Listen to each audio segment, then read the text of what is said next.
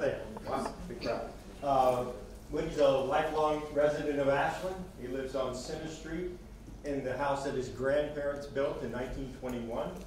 And he was a, he's graduate of Randolph-Macon, uh, retired from the Virginia Employment Commission as an administrator for the Commonwealth's Unemployment Benefits Program, and he currently serves on our board at the Ashland Museum.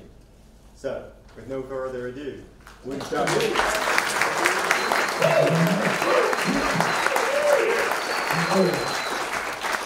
And I really appreciate everybody showing up here. Uh, you must lead a boring life if the hottest thing, the hottest thing in, in. But no, I, I, the museum, really appreciate your supporting these history talks and coming tonight particularly. And to the Randolph-Macon students, thanks so much. I don't fool myself in thinking that you were just walking down the hall and think, oh, there's another lecture tonight. I really would like to hear it. I expect there was some pressure applied. but that's okay. We're glad you came. Thank you. Thank you. Um, speaking of pressure, I have done this presentation eight or nine times, so I really shouldn't feel pressured when I do it tonight. But there is a little bit of extra here that uh, does apply some pressure. And that is the person that I learned a whole lot about history from. My history professor at Randolph-Macon, Dr. James Scanlon, is here tonight.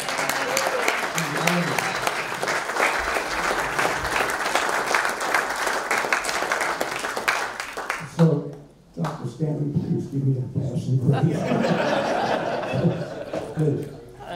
Okay, a little qualifier before, before I start. I gave this presentation some time ago, maybe a year or two ago, and I gave it to a group of seventh graders at Liberty Middle, group of history students, seventh grade. By the time I finished my presentation, over half the class was asleep. now, I say that for you insomniacs out here, this might be your lucky night. so, I have always been interested in, in history, just fascinated. I mean, after all, I, I grew up here. My parents grew up here, my grandparents. I have greats and great greats who spent a good part of their life in Ashland. And over the years, I've just heard so many stories. I wish I could, frankly, could remember all of them, which I can't. But it is, you got to admit, Ashland is an interesting spot, right? It really is. It's been a lot going on in this town over its hundred and what, 70 years or so of history. I've been particularly interested and fascinated with the history of the, of the town during the Civil War and its role during the Civil War. But I think to better understand, understand Ashland's participation during those years, you got to know a little bit about the early years of Ashland. So I'm just going to give you a quickie lesson in, in the first years leading, leading up to the war. In 1834, a new company was incorporated in Richmond. It was called the Richmond, Fredericksburg, and Potomac Railroad. By 1836, the railroad had bought the property, which is now Ashland, and ran tracks up as far as the South Anna River. At that point, they would bring ex excursion trains up from the city, taking people up to the South Anna on a picnic, and then bringing them back. Very shortly thereafter, they ran tracks to Fredericksburg and then to Aquia Landing on the Potomac River. And from that point, the passengers would get on a steamboat, go up the Potomac to Washington. So, at that period of time, this area was called Ashland, uh, Adams Shanty. Now, Mr. Adams was the guy who cut wood provided to the locomotives that came through here. But as time went on, and a mineral spring was discovered somewhere on what is now the Randolph-Macon campus, the railroad realized there's money to be made in this place. I mean, mineral springs in the 1840s and 50s were the thing. You went to take the waters. So they thought, well, gee, we got mineral springs, we can get some other things. So they proceeded to build a hotel and a ballroom. And you can see up here on the this lithograph, which is undated, but um, we think it's sometime probably in the late 40s, probably early 50s.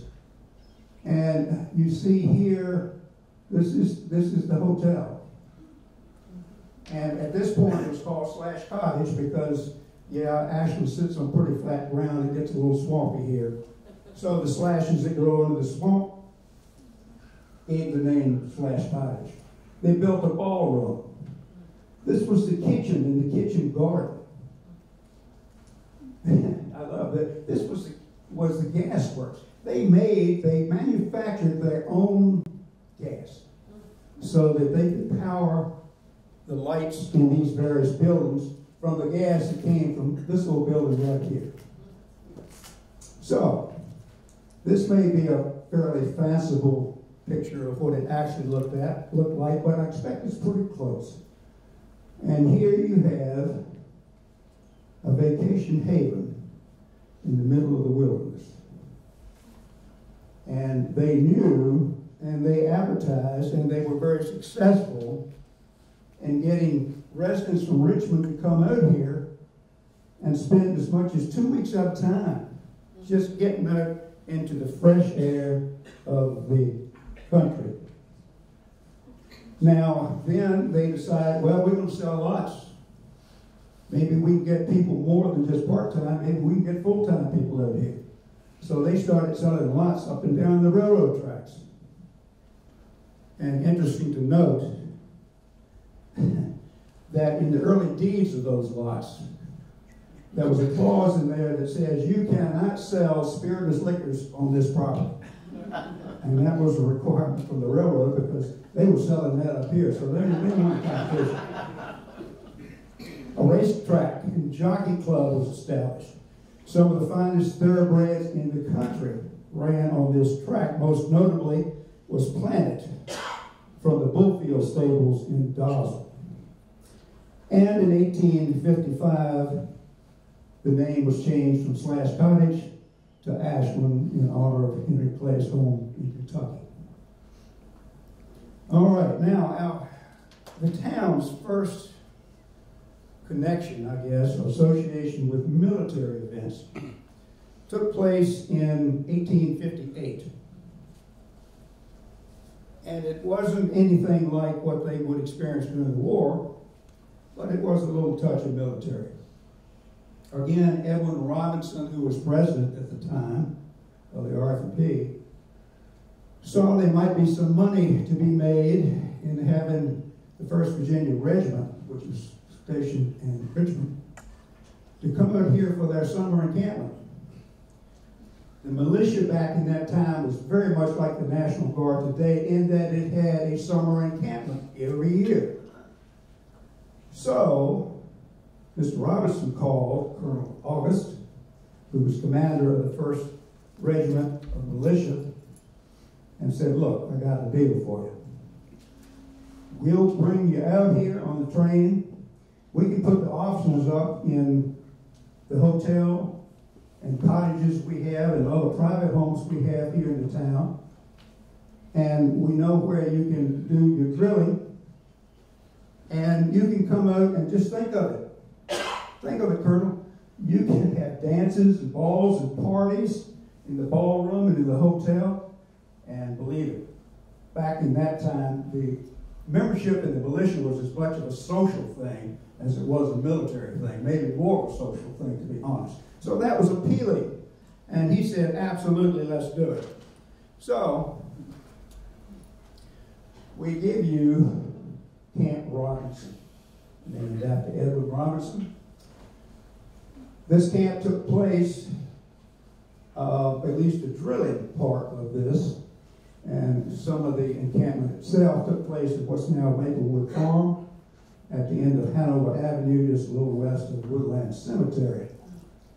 Um, the regiment was consisting of companies like the Richmond Blues, the Richmond Braves, Montgomery Guards, several others. They had an artillery uh, unit associated with, with this regiment. So, if you read the Richmond Dispatch columns of the day, articles, you will see that they had a high old time. They loved Ashland. So Mr. Robinson and was pleased, Colonel August was pleased. And so that's that's Camp Robinson. And that was our first first encounter with the military. And it's significant in that it was one of the last, if not the last, peacetime encounter encampment within the state.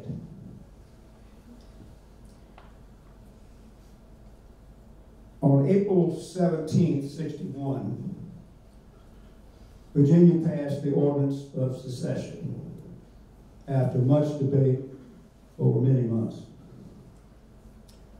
And it's interesting to note that none of the Ashland residents, residents voted against it. Everybody was enthused. Yes, absolutely. Secede, for our own country. We can do it. We can beat the Yankees if they want to come to town.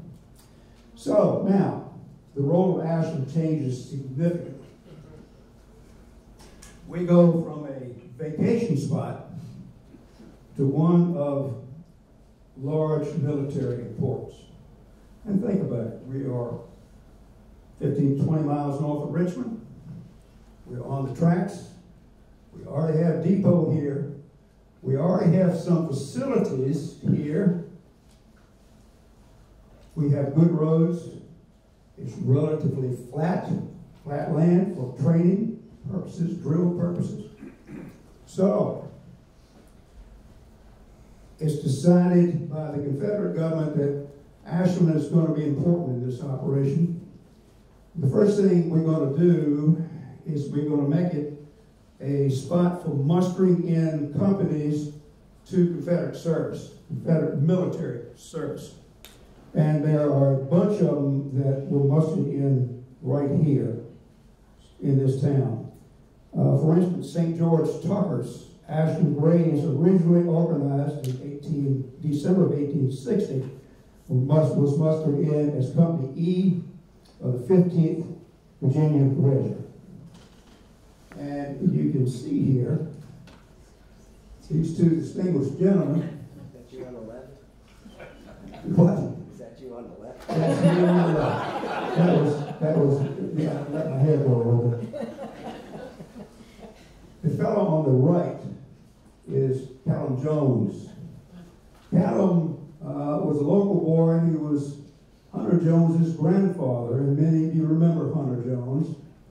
Um, and matter of fact, we have his great granddaughter right here tonight, Sandra Smith.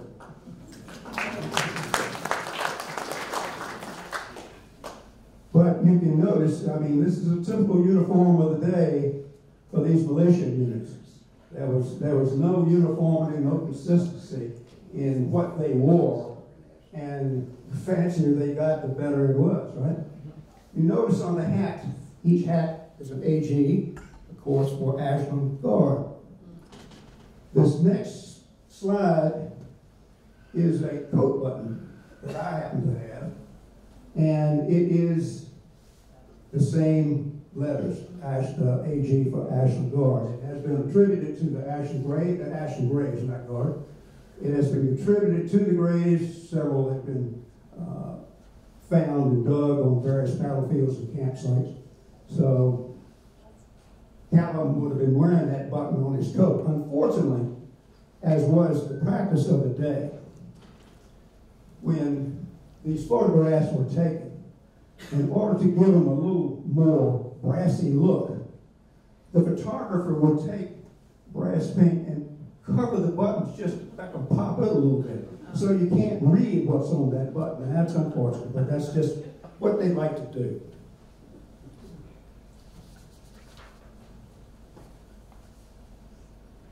Pichegru Woolfolk of Caroline County formed the Ashland Artillery, which served uh, as an artillery battery throughout the war. And Williams Wickham mustered in the Hanover Troop as Company G of the 4th Virginia Cavalry. Uh, this is a reunion picture taken in 1890. Uh, it was taken in Ashland Park, which was a popular area of its day. Ashland Park was right on the railroad tracks just north of Archie Cannon Drive.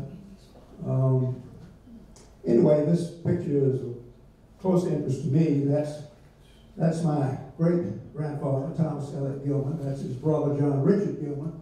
My great great grandfather, John Harris Blunt, and a bunch of other uncles and cousins in here. So I got, I got a lot of attachment to this particular group of people. See the way resemblance. So, okay, it's a mustard point, but what else can it be? Well, we have a depot here. We can build warehouses, so the Confederate, the Confederate government wants to turn this into a supply depot to supply the armies that are north, right? Makes perfect sense. And as we just talked, it's flat ground out here. What a great place to set up a training camp. So Camp Ashland comes into, into being. Um, the camp was additionally initially uh, commanded by Colonel Richard Ewell. Richard Ewell later became a general under Stonewall Jackson. And when Jackson was mortally wounded at Chancellorsville, he took over the command of the Second Corps of the Army of Northern Virginia. He was then followed by Robert Chilton as commander of the camp. And Robert had quite a career himself in the war. He was chief of staff to Robert E. Lee for a while, and he later became a general. Uh, following Chilton was Charles Field, who also became a general in the Confederate Army later in the war. And you, you got to realize, too, again, we were talking about the militia camp and what a big social deal that was. Well, it was still social here because these guys were going to have fun. They knew this was going to be a blast, right? War was going to be great. But it was still very much a social event. And with the, build, with the buildings at the college that we've already talked about, the pretty girls of the residents are here that they could flirt with were all inducements and excitements to get them to want to come to Ashland. Thousands of men from over 30 companies trained here. Most were from Virginia, except for a cavalry unit from South Carolina called Hampton's Legion and one from Mississippi called the Jeff Davis Legion. The most noted trainee at this camp was John Singleton Mosby.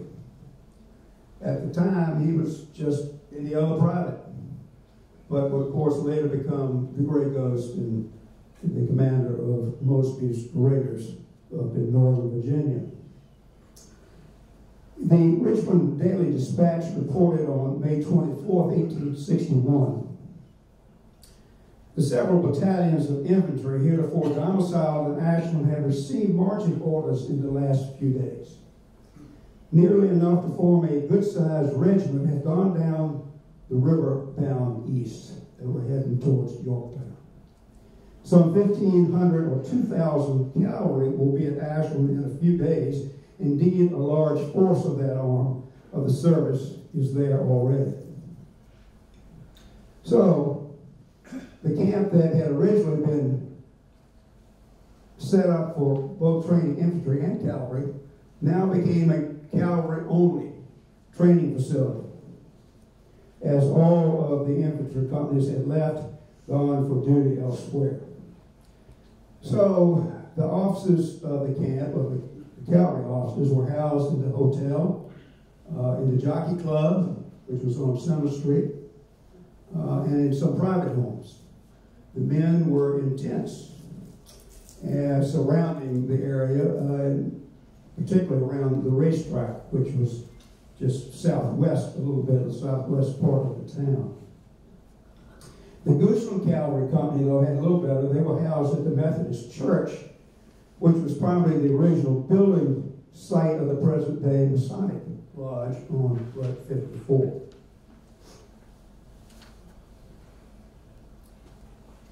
Now, I find it very interesting, and I learned more about the camp than I think from any other source by reading some of the letters that the soldiers wrote back home, right? So, William Corson was a member of Company G, 3rd Virginia Cavalry, which was the Cumberland Troop. And he writes on May the 25th, 1861, to his girlfriend Jenny. We are comfortably quartered at the Ashland Racecourse, and a section of the country as level as the prairies of the West. Our men are in houses protected from inclement weather. Our horses do not fare so well, but are picketed in an enclosure without any shelter. We are on duty nearly all day. The bugle calls at 4.30 in the morning. At 6, every trooper is required to answer to his name unless on guard or in the hospital, and get fed and feed for his horse. At 6.30 is breakfast call. 7 to walk with horses. 8 mounted drill when all the troops in the regiment composed of 10 are marched out to the field and drilled for three hours. At 12, water and feed again. 12.30, dinner. 2, foot drill, 5 o'clock inspection of arms. Sundown dress parade when the whole regiment is marched to a beautiful grove where the officers of the different companies report their number of men on the drill. On June 11th, Private Corson wrote to his girlfriend Jane, we went around the town serenading the ladies that have been so kind to us soldiers. We are welcomed in several places and treated to whiskey and water. We shall be relieved, reluctant to leave the good people of Ashland. And you bet they will. On June 20, he wrote, I hope we will not be sent from this place until all the whortleberries are gone. That's blueberries. For there are many more bushes here than I ever saw anywhere in my life. This is a great country for watermelons, and if we remain here during the summer, we will feast on them. On July the 1st, 1861, Richard Watkins, who was a member of the Prince Edward Dragoons, Company K of the 3rd Virginia, wrote to his wife, Wish you could come and see us. It has rained nearly all the time that we've been here. This place ought to be called Slash Cottage. On July 4th, he writes, When I wrote before, it was raining constantly, and I thought Slash Cottage a proper name for the place. But since the dust begins to rise, I think that Ashland or Ashes Land would be better.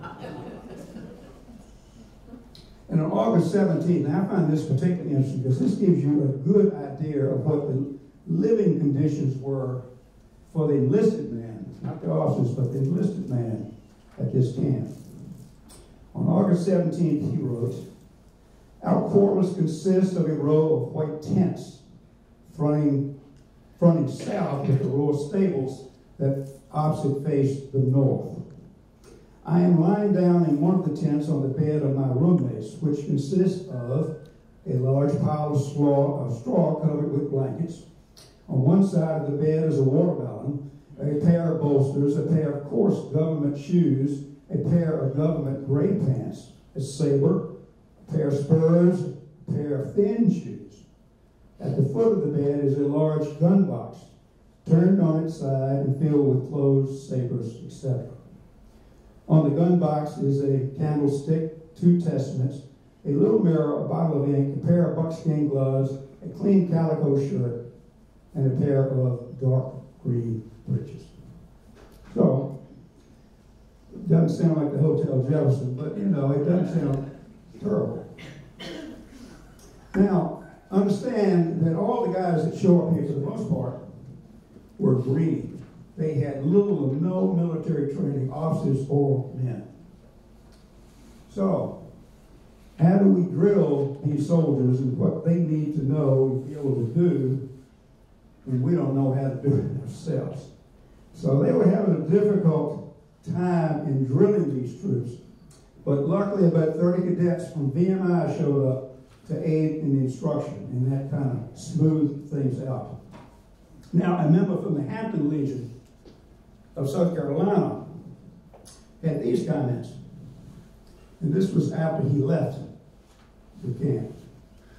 I must admit, I feel a relief from the rush of work and drill at Ashland. The drill that we went through every day there was pretty severe, and there were so many men coming and going all the time. It was indeed a vast camp, but no fortifications about it. We drilled for hours early morning and evening. Now, the same soldier also wrote, I have never seen in all my days so much whiskey and it's so cheap. While I was in Ashland, most of the men got their meals at the hotel, which is as cheap as we could prepare them.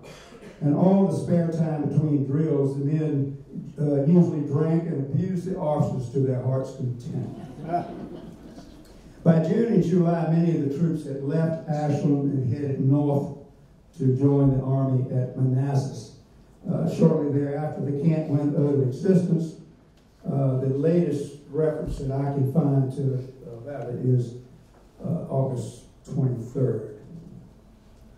Now Ashland takes on a new role. We take on a role of providing hospital spaces and spaces for refugees. Because by this time, the Confederate Army is moving back from Manassas, where it had spent the winter of 1861 62. They're coming back in the direction of Ashland uh, to eventually go on the peninsula, heading towards Yorktown to prevent McClellan and his Union force from coming up the peninsula and taking Richmond. Now, as they come to this area, well, what comes with them? But a bunch of sick soldiers. Now, these are soldiers that were suffering from diseases, not from wounds, but from sickness. In the Civil War, people died two to one, sickness to wounds. It was a big deal. These guys had come from farms and rural areas. They, they had no immunity to anything, to nothing. So we get here in Ashland, and we've, we've, we've got a problem. We have all these sick soldiers and nowhere to care for them, so they, they set up hospitals in a number of places to nurse the sick. Um, the buildings and homes that we have seen the reference to are uh, the Baptist Church, the hotel, this is a post-war picture of the hotel on the Randolph-Macon campus. And the Baptist Church is also a, post-war picture. Uh, just a few years after the war, as a matter of fact. The private homes, the home of S.D. Leek, the home of R.R. Sale, the Hughes home, the Free Church, the Methodist Church, General Hospital and Hospital Number One. Well, places like the General Hospital and Hospital Number One, we don't really know exactly where they were. Uh, they might have been they might have been hospitals associated with the camp around the railroad, uh, around the uh, racetrack. They might have been associated with college. But we do know they were they were hospitals. And what else we know is that a lot of those men died, and now we have a new problem. What do we do with all these dead soldiers? So,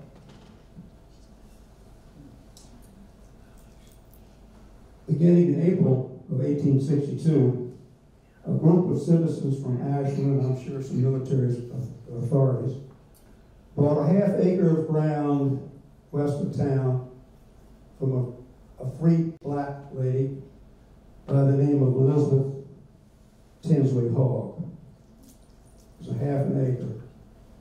I think, as I understand, she did not get paid anything at the time, but she did receive five dollars or something a year or two after the war. At least then she got real good currency, didn't have to, you know, get Confederacy, Confederate currency. What you are seeing here is what we call the Ashland Burial Book. There are over 250 people listed in this book. And you see on the very first page, uh, Robert James and brothers, Robert James and his brothers apparently were conducting the burials at this plot of land. Probably also made the coffins. And this is what became the very beginning of Woodland Cemetery.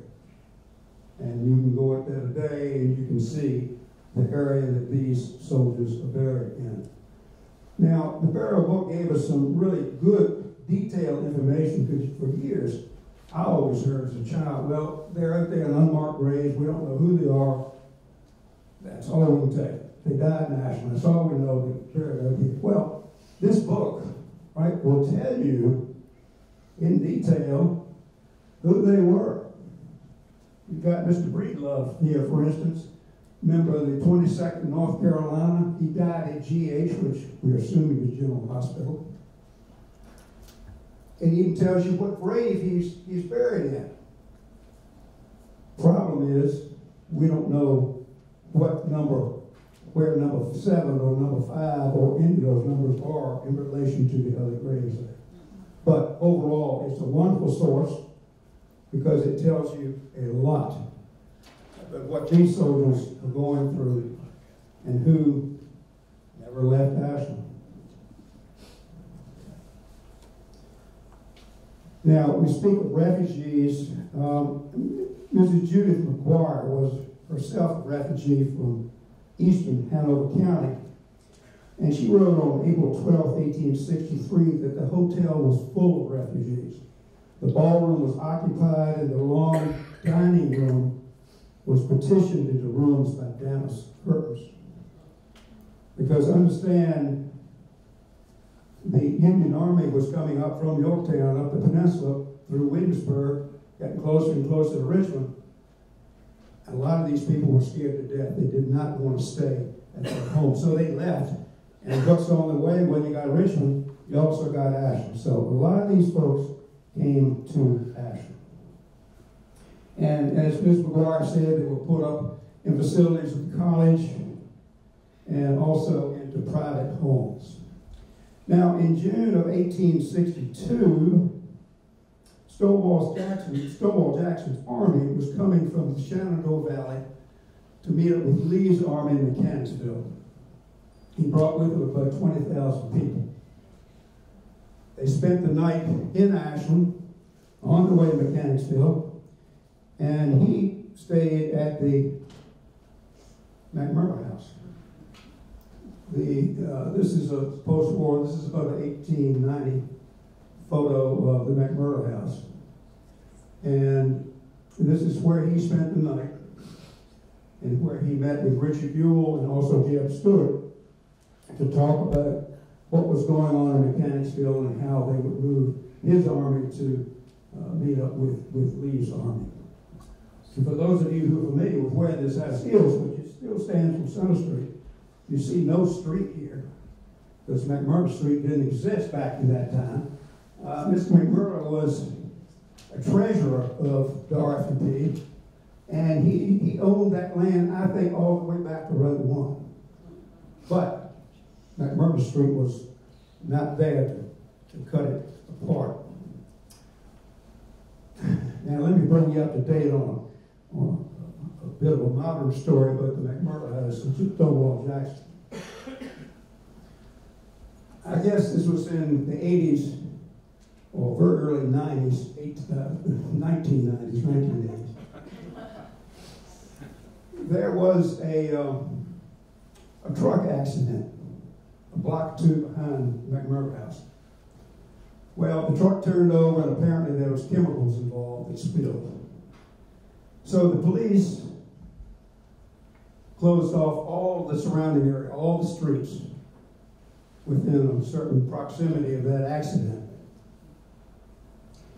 And it was featured in the Richmond News, what was going on in Ashland. This was big time stuff. Well, my father lived next door to the McMurray house at that time.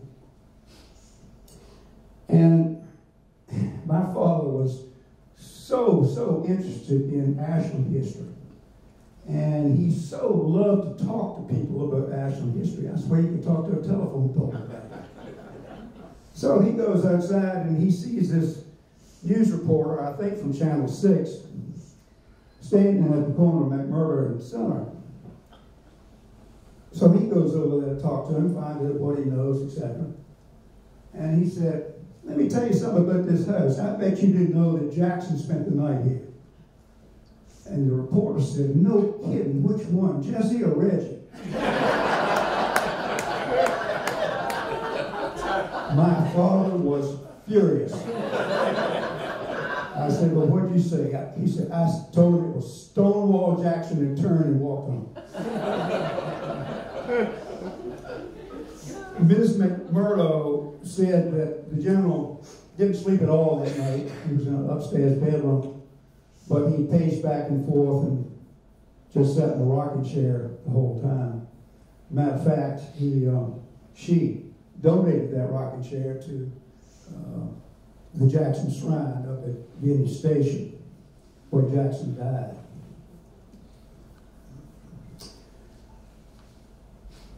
So, anyway, the next day he leaves for Mechanicsville.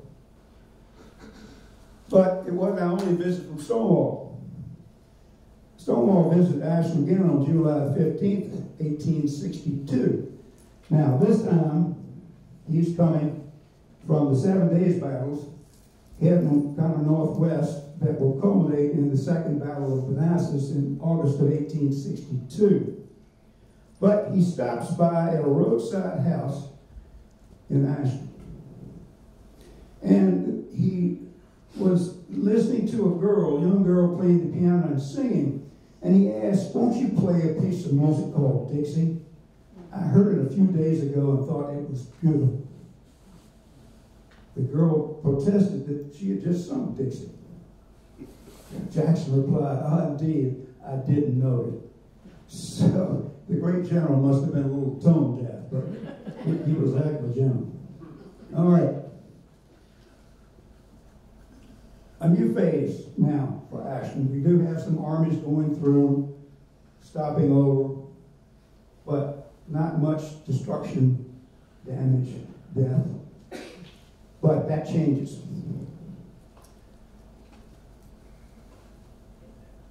The Union Army recognized the importance of this area the same as the Confederate government did. It was no big surprise. We got supply depots here. Right? We got a railroad depot. We got a railroad tracks running right through the middle of it, north to south. Great. We need to get rid of that. So, the first cavalry raid occurred on May the 28th, 1862.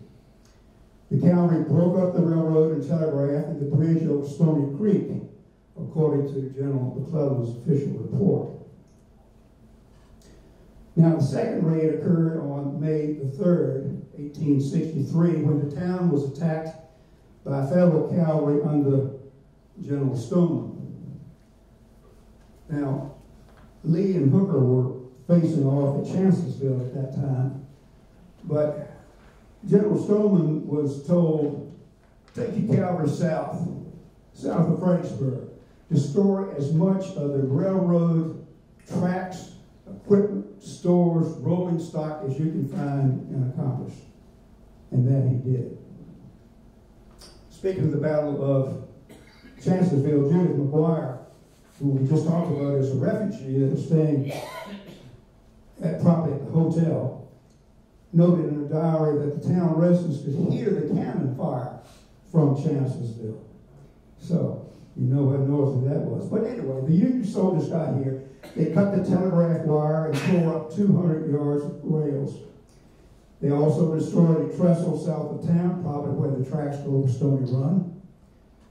And while the trade, the raid, uh, while the raid was going on, a train approached from the north. It was captured. The engine was uncoupled and burned. The seven-car train was an ambulance train carrying 250 sick and wounded soldiers and several prominent civilians. Well, the wounded were all paroled. I don't know what happened to the civilians.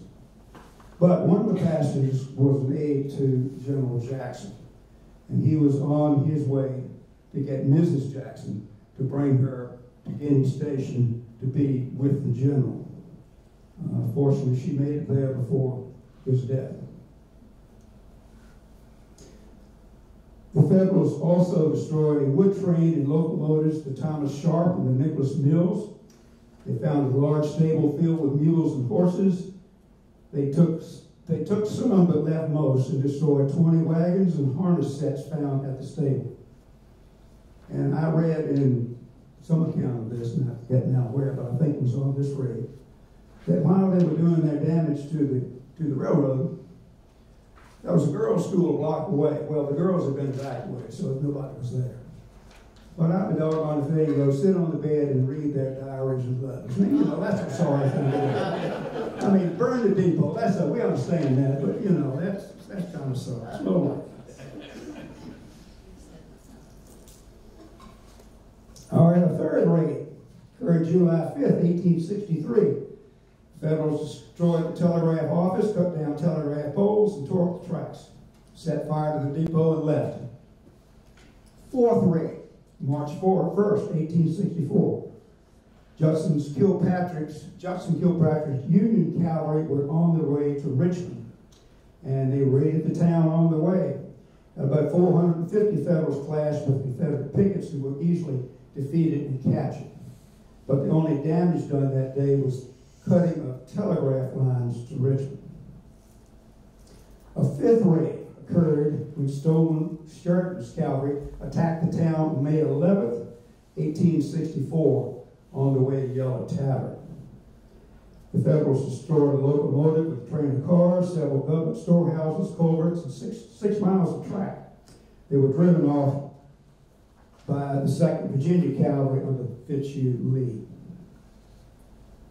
The next day, Ms. Jeb Stuart, who was living in Beaverland at the time, was notified of her husband's wounding at Yellow Tavern.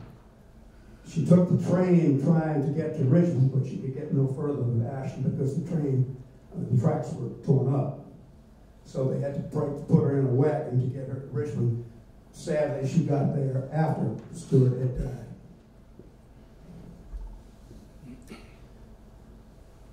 Now, on June 1st, 1864, the town was raided by federal cavalry for the sixth time.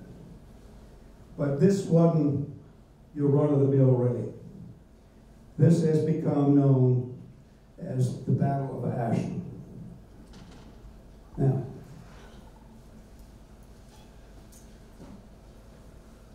talk about this first. Grant and Lee facing off at Cold Harbor. Okay? Terrifically big, bloody battle. General James Wilson had a large number of Union cavalry at Hanover Courthouse. So he was given orders to do two things. One, to destroy the railroad bridges over the South Anna the Virginia Central Bridge over the South Anna, and also the RF&P Bridge over the South Anna. Also, go to Ashland, destroy as much as they could there. Now, to accomplish his goal, he's, he split his division into two groups. The 18th Pennsylvania, the 2nd New York, the 1st Vermont Cavalry, and the Colonel Chapman traveled southwest along what is now the Hickory Hill Road to destroy the bridges. So, this is the courthouse, right in here. This is Hickory Hill Plantation. This is the Hickory Hill Road. All right, still there. And you had tracks here, and you had tracks with bridges here. Okay, so that's Virginia Central. This is the RF&P. Now, the second group that would attack the town was under Colonel McIntosh, who was uh, this first Connecticut, the second Ohio, the third New York Cavalry. And they came down the Ashland Road to the town. Now, the Ashland Road is running from Hickory Hill right down here to the town. This road, for the most part, does not exist any longer, certainly as a public road.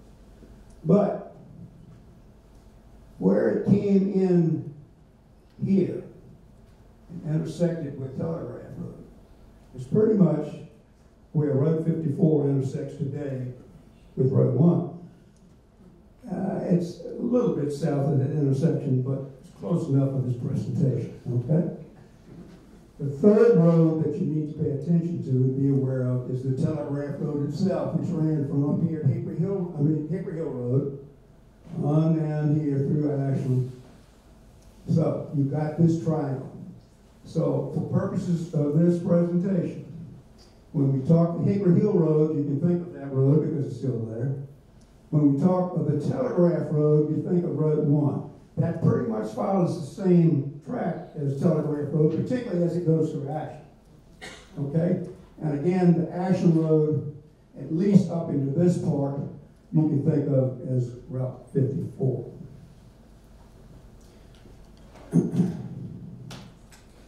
now, Chapman had a fairly easy time of it. Um, and he was the one coming down Hickory Hill Road and was going to destroy those railroad bridges over the South Anna River. Well, he did not meet any opposition until he was getting closer to Ellet's Crossing, which is right up here. And at that point, he was met by troopers from the 1st Maryland Cavalry and the Baltimore Light Artillery, commanded by Colonel Bradley Johnson. But since the Maryland troopers could only muster about 150 men, they were quickly pushed back and retreated towards Ashland. So at that point, Chapman, who had already destroyed the bridge of the Virginia Central over the South could now proceed to the RF&P Bridge, which he destroyed. Now, this photograph is not the RF&P Bridge over the South Anna, but it is the RF&P Bridge over the North Anna, which had been destroyed just a week before. Um, ironically, it was destroyed by Confederate troops who wanted to keep the Union forces from using it to cross the river. But you can imagine that the bridge over the South Anna looked very, very much like what you see in that photograph.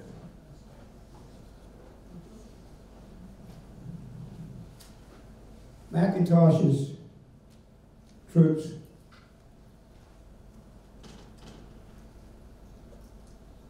coming out of the Ashland Road didn't fare so well. What they didn't know is that in this area here, there was a large number of Confederate cavalry under General Wade Hampton, who took command of the Confederate cavalry after Stuart's death. Um, Hampton had the divisions of Rooney Lee, who was the son of Bob E. And Tom Rosser. And they gave the Federals all they could handle. So, as the troops, McIntosh's troops came down the Ashland Road and headed, headed on to Ashland to start restoring tracks, the first Connecticut was bringing up the rear. At Rosser's signal, General Tom Rosser's signal, Colonel Thomas Massie's 12th Virginia Cavalry pitched into the 1st Connecticut, came down upon them like lice in Egypt, if, if Federal said of the unexpected assault.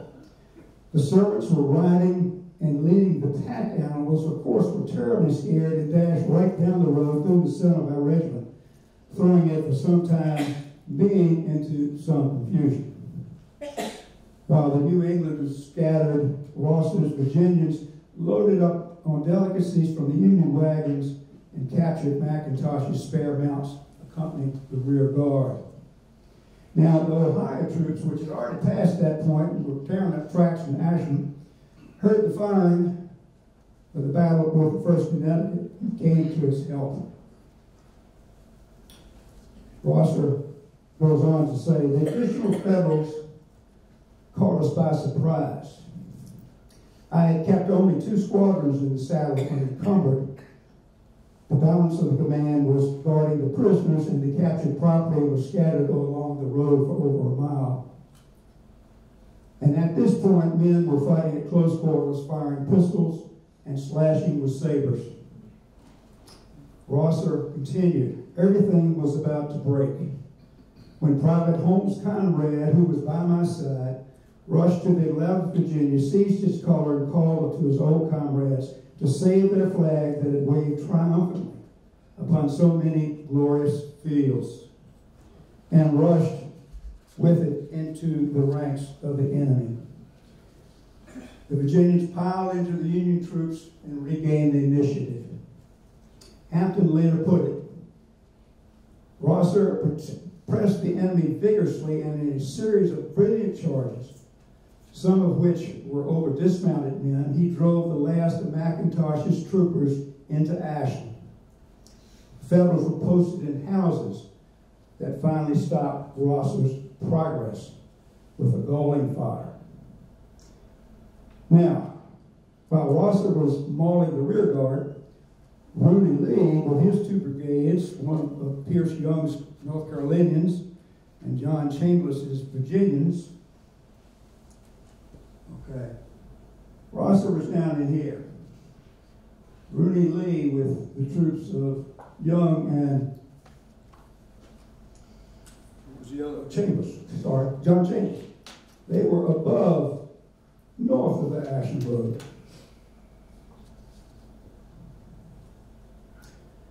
So while Rosser was attacking from the south, Hampton saw the real possibility that if he created a pincer with Rooney Lee's troops to the north, they could bottle up McIntosh's troops in Ashland and destroy it completely.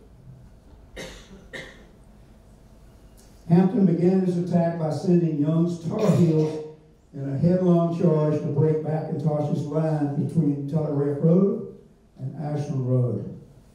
Elements from Hammond's and Marcy's federal regiments dead like Young in bitter fighting. Young, who was an exceedingly handsome, gallant, and enterprising officer, Union General Wilson later described, fell wounded when a ball passed through his left breast and exited near his left shoulder. Fortunately, Young recovered and later became a, a general in the cavalry and served with some distinction. But going on, a Confederate recalled when the North Carolinians ran low on ammunition, they fought the enemy with stones and brickbats. Hammond's Federals, armed with seven-shot Spencer cartridges, carbines, held firm, killing and wounding more than 70 Confederates of Baker's 3rd North Carolina Cavalry. Now, Union Colonel McIntosh knew he was in hot water here because he was being pushed from the south by Rosser, from the north by Lee, and also by Bradley Johnson with the Maryland troops. He managed to get a courier through the Maryland line up to Ellet's Crossing, where Chapman was in the business of destroying the railroad bridge, asking for help and help he got. Cavalry from the 1st Vermont Regiment punched its way through Bradley Johnson's line and came to assist McIntosh in the town. McIntosh then sent east to assist the 1st Connecticut against Rosser, south to Telegraph Road to help defend against Rooney Lee. And I'm quoting here from an Ohio soldier who said, The sounds of combat rattled through the streets of Ashland. Both sides fought dismounted, often at close quarters. It was strange but true to see rebel and Union soldiers firing from opposite sides of the same tree. The rebels were so thick that we could scarcely miss them if we fired at random, and few shots went astray. Both sides were now taking heavy losses. In the space of 40 feet, I counted 22 dead rebels, and there was a large number wounded, also from an Ohio trooper. But McIntosh now requested more reinforcements. So the remainder of the first Vermont, came down from Elliott Crossing into Ashland to provide some relief. His Florida troopers, I'm sorry, McIntosh's Florida troopers then were able to leave and head north, get out of town quick, because they had been just fought out. A few Connecticut soldiers lingered at the depot long enough to bury their commander, Captain Addison G. Warner, in a neighboring yard. Confederates were close to overcoming 1st Vermont when the 5th New York, along with Spencer Carbines, came to the rescue. And that was the saving grace for the Union Army that day, were the seven-shot Spencer Carbines. The Confederates outnumbered them man-wise, but they could not match that firepower. It was said of the Spencer carbine, you could load it on Sunday and fire it all week. And that was the truth. The Richmond Dispatch later reported that many of the Yankees were in the ballroom of the hotel at the time, and when the Confederates charged, the Yankees pounded up the front windows and doors as the rebels bounded in the rear windows and doors. Many of the Union cavalry that were killed, excuse me, uh, wounded at that point, left 13 dead lying outside of the hotel. In the end, the Union lost 183 men. The Confederate lost approximately 109. That's big numbers, particularly for a cavalry fight. That's big numbers. So the raids that had taken place prior to this all paled in comparison to what the town had just been through on June 1st. Now, what you'll see here is, a, is an envelope which I purchased on eBay, as a matter of fact, a few years back. And it's, it's the ink is fairly faded, so I'm not sure how well you can read it. But let me say this first. Uh, this document and a couple others that you'll see in a minute, uh, I have here on the table. So if you want to get a closer look at them, you can come up here and see them as you read. But anyway, this envelope says, this is a rebel envelope captured at Ashland Station June 1st, 1864, signed by J.B. Du Bois.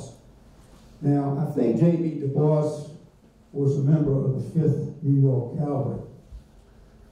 But I have often wondered that before this envelope was captured, did it put up much of a fight? or did he just lay down his arms and said, take me? if, if it's the same J.B. Bois that I have seen on uh, when I was doing some research on this particular piece, like I said, it was a member of the 5th, 5th New York Cavalry. Sad to say that he was captured two weeks later, just east of Richmond, and he died shortly thereafter in Andersonville Prison in Georgia.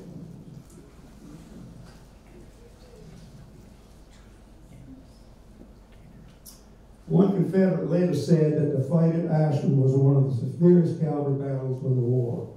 And he was, he was right in that. All right, there are no accounts of further action until March the 15th, 1865, when the town was raided for a seventh time.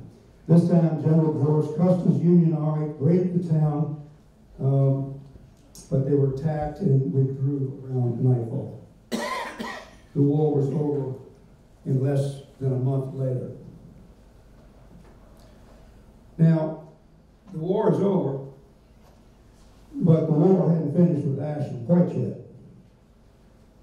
Following Lee's surrender at Appomattox in April, the Federals created a provost marshal's office here in Ashland, and also a uh, branch of the Freedmen's Bureau, which was here to help the newly emancipated slaves. The provost office was here for a couple of reasons. One was to keep the peace, and the other was is to parole officer uh, soldiers, excuse me, that had been parole, patrol, uh, paroled at Appomattox. And this is an example of one parole document right here. It was for a Joseph H. Crew, and it's noted Ashland, April something, 1865. And this is his parole. And this was his pass that he was also given um, upon being, being paroled, which uh, said that he can pass from these headquarters in Hanover County via Ashland for the purpose of marketing. Okay, so he had to carry this with him everywhere he went, at least as far, as long as the provost marshal's office was here in town. And it was, Virginia at that time, of course, was under military control. So, the war is over. Ashland is devastated along with the rest of the state of Virginia. But the railroad. The railroad who built it, who nourished it, who darn near got it destroyed, now rebuilt it. And three years later, Randolph-Macon came up here and took over the railroad property on the campus that where you are today. But that's another story for another time. So I, I've taken up as, as much of your time as I think I can or should tonight. But I do thank you again for, co- uh, for coming, and I will ask for those of you who are still awake, if you have, if you have any questions, anything you would like to know that perhaps I didn't cover or talk about, or. Okay, Uh, just wondering if anyone still knows where that mineral spring was on the campus. you know, not to my knowledge. I don't even think Roseanne Shelf knows. And if that's the case, nobody knows. Uh, it's just somewhere here, but I don't know. Dr. Scanlon? That's right. I've never seen any reference to the spring in the trustees minutes. But I, I have a comment, a question. The comment is you mentioned General Stone. I think he's the same General Stoneman who was the governor, the military governor of Virginia in eighteen sixty-eight. He certainly could have been. I mean, he and, was up there in the Union Army. That General Stoneman quashed a court order from the Mecklenburg court, which would have denied Randolph-Macon the ability to move to Ashland. Mm-hmm. So, so it was Stoneman who enabled that to happen. If it's the same man. So Stoneman was our enemy in '63, but our yes. friend in, in '68 think. I, I think you're right, James. I, I think you are. And, and one question, you mentioned Rooney Lee Mm-hmm. at uh, Hickory Hill. I was riding one day with Bill McElwain, who knew an astronomical amount, and he said that Rooney Lee was captured at Hickory Hill. Rooney Lee had been wounded at, at Williamsburg. Uh, Uh, not, and- not in that bad. No, no. Oh, okay. Well, he'd been wounded at Williamsburg as the army was retreating back towards Richmond. Okay, he was wounded. He was married to General Wickham's Ah, sister. So they took him to Hickory Hill to recuperate. When the Union cavalry showed up, uh, one of his brothers, is either Robert or Custis, were there visiting too. They hid, hid in the boxwood, three boxwoods, and got away from it. But Rooney was taken prisoner and taken down to Fort Monroe for a while before he was paroled for exchange. thank you. Thank you. Anything else? Um, so just looking at this paper on the presentation, so it says that it was, um, he was Company's headquarters in April twenty, is that a seven? April twenty. Oh, yeah, it's, Yeah, it's kind of hard to see what that date is, but anyway, yes. Uh, eighteen sixty-five, and Mhm. it expires.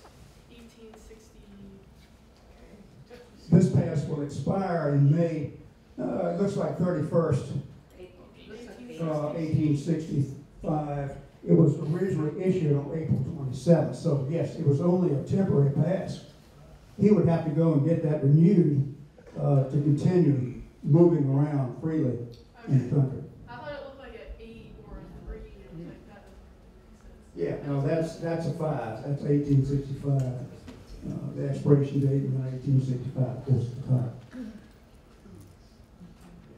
Yes, sir. Woody, um, I'm interested in trains, and I know you've been in probably every backyard in Ashland with a metal detector. Did, did you ever find any pieces of the engines or trains or wheels or anything in Ashland, or were they, or were they repurposed? Or did people use them in their houses for anything? You know, Hill, that's a good question, and I don't really have a good answer for it. Uh, I can say no, that I recall that I haven't found anything that was railroad related. Um, of course, I did find a lot of stuff that I didn't know what the heck it was. It could it could have been off of a, off of a train. But, uh, as to what they did with it, I'm sure a lot of it was repurposed. Because the Confederate government didn't have much to start with, so they weren't gonna let it go if they could rebuild it or repurpose it or reuse it somehow. Yes, sir. How, how far north did the tracks go during the war, if- if they weren't destroyed? You, you mentioned that something happened up in Aquia, that people would get on a boat to go farther north. Did it ever get extended, you know, like to DC or farther during the war? Not during the war, I don't think. Pretty sure of that. I think it wasn't until after the war that those tracks left Aquia and, and went straight on into the district. Uh, I don't think it was done before the war. I could be wrong on that, but I, I don't believe so. You're right. Thank you. This is ex, ex RFP employee here. Any other questions? Woody, is, is uh, Stonewall Jackson's ghost still in that house? Some lady who once I lived in that house told me that her dog talked to him. Yeah, I heard that story. I, I, I remember that lady, uh, a lot of ghosts talked to her, I think. Um, I have not heard of any, any occurrence from the current residents, so I'm gonna assume that that ghost is now gone to its grave, whoever it was. All right, well, thank you again for coming.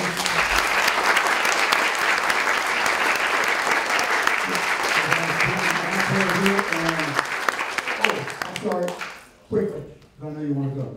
Two attributions. A lot part, a, a lot of this presentation was dependent on a couple of books. One is Leaving Neither White Child Nor Father, which is a wonderful history that has been written by Jim Upton about the early history of Ashland, right on up through the early history of Woodland Cemetery and the hospital phase of Ashland's existence during the war. Uh, I mean, I just touched on a, minute amount of information that Jim has put into this book, along with military biographies of all the soldiers that are buried in Woodland Cemetery. So Jim is with us today. I want to thank you for a wonderful resource, a wonderful treasure.